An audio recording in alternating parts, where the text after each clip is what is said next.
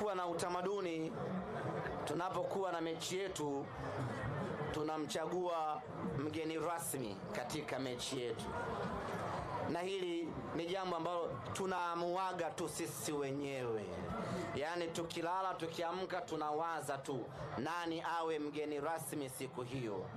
Sasa mechi ya tarehe ya ishirini na sanda nikupa ugeni rasmi hautaki?